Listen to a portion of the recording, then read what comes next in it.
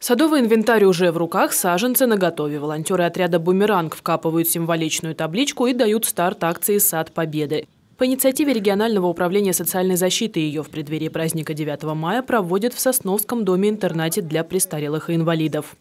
Акция у нас стартовала в 2020 году в Тамбовском доме-интернате, в 2021 году она пошла в Уваровском доме-интернате, ну, а сегодня у нас у нас Сосновский. Наверное, человек без памяти не имеет будущего. Девчонки так ловко, орудующие лопатами, постоянные гости учреждения. За годы сотрудничества волонтеры из местных школ стали главными помощниками бабушкам и дедушкам, проживающим в интернате. Здешние яблоньки и груши, которые уже успели подрасти, тоже высажены не без участия молодежи. Я понимаю, то, что через много лет тут будет прекрасный сад, и этот сад был посажен моими руками. Плодовый сад под окнами учреждения сегодня дополнит еще больше 20 деревьев. Сейчас волонтеры уже заканчивают работать, а впереди чаепитие с бабушками и дедушками.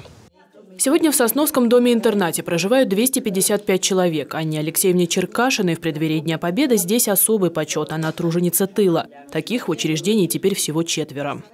Я работал механизатором. Убирали, пахали, сеяли хлеб. Вот. Тяжелый, конечно, войну был трудный. Мы еще молоденькие были девчонки. Ну ничего, старались и знали, что война.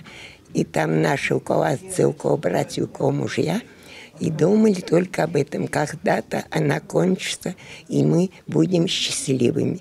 В ближайшие дни постояльцев дома-интерната ждет еще масса поздравлений с одним из главных праздников весны. Открытки к Дню Победы от учеников Тамбовских школ и воспитанников социального приюта «Орешек» здешним труженикам тыла уже передали. Юлия Савушкина, Станислав Попов, Ольга Кириллова. Область новостей.